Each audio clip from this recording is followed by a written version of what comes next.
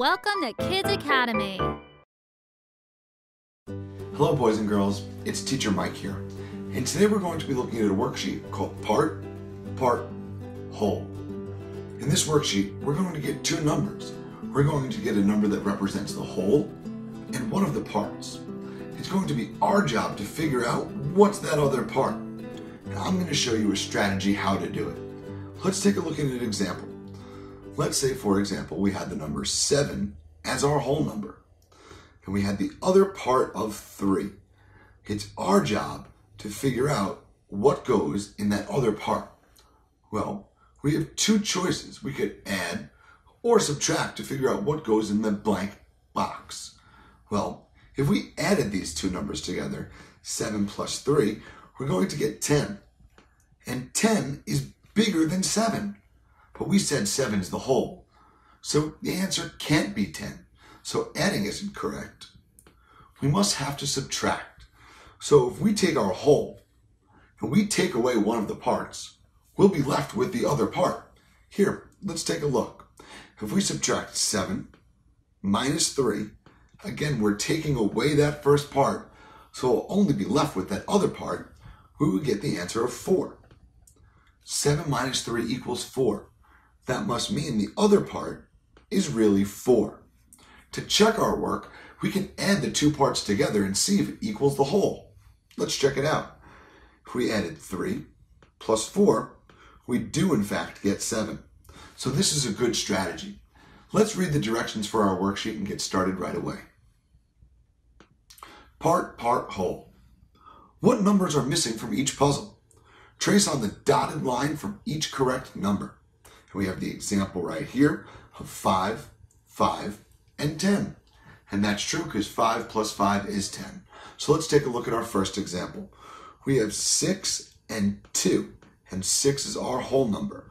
Okay, so I remember we said we were going to use subtraction to figure out what the missing part is. So let's subtract 6 minus 2. And when we subtract 6 minus 2, we get 4 and I see 4 as our first answer choice. But to confirm this is our answer, or to check this is our answer, let's add 4 plus 2. And when I add 4 plus 2, I do in fact get 6. So let's go ahead and trace our way to the 4. Now let's look at the other part of that question, or the other side. We have an 8 and a 3, and the 8 is the whole number. So if we have an 8 and a 3, what's the other part? Well, again, let's use subtraction. 8 minus 3 equals 5. So I think that the other part is 5. Well, let's add our two parts together and see if it equals the whole, just to be sure. 5 plus 3 does in fact equal 8. 5, 6, 7, 8. 5 plus 3 equals 8. So we can trace on the dotted line to the 5. Let's look at our next two examples. We have a 12 as our whole number and a 6 is one of the parts. Remember, we can use subtraction. So let's subtract 6 from 12. And 6 and 12 minus 6 is 6. And again, to check our work, we can add 6 plus 6, and that is in fact 12. So we can go ahead and trace on the dotted line to 6. Let's check out the next example. We have 10 as our whole number and 8 as one of the parts we will use subtraction to figure out what the missing part is. So let's subtract 8 from 10. When you take away 8 from 10, you're left with 2. We'll check our work by adding 2 plus 8. And of course, that gives us 10. So we can go ahead and trace on the dotted line from 10 to 2. Let's look at the next examples. We have 14 as our whole number and 8 as one of the parts. Let's use subtraction to find the missing part.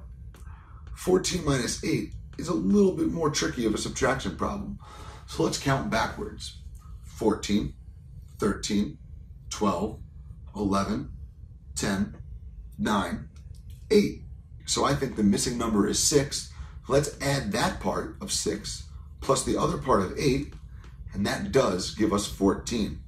So we know the missing part is a 6. Let's trace on the dotted line to 6. Our other example has 11 as a whole number and 7 as the first part. So let's subtract 7 from 11. 11 minus 7. That equals 4. We'll check our work with addition, adding our two parts together, the missing part of 4 plus 7, and that does, and that does equal 11. Let's trace on the dotted line to 4, because that is our missing part. Let's check out our last two examples. We have 16 as our whole number and 5 as our first part. To figure out what the missing part is, we'll subtract the whole number of 16 minus the first part of 5. Again, this is a tricky subtraction problem, so let's count backwards. 16, 15, 14, 13, 12, 11, 10, 9, 8, 7, 6, 5. Wow, we counted all the way up to 11. So I think 11 is our missing number. Now let's add 11 plus 5, and that in fact does equal 16. So we know that our missing number is 11. Our last number. We have 18 as our whole number and 9 as one of our parts. We'll use subtraction one final time to figure out what the missing part is. So we're taking our whole number and we're taking the one part that we know away from it. We're subtracting what we know. So we'll be left with the missing part. And 18 minus 9 is a doubles fact. That equals 9. And when we add 9 plus 9, I know that that does equal 18. So our missing number is 9. Remember, boys and girls, when you have a part, part, whole problem, if you have the whole number and one of the parts, you can use subtraction to figure out the correct answer. Thanks for watching, and we'll see you next time. Subscribe to our channel to stay updated on new videos. Find links to our apps in the comments below.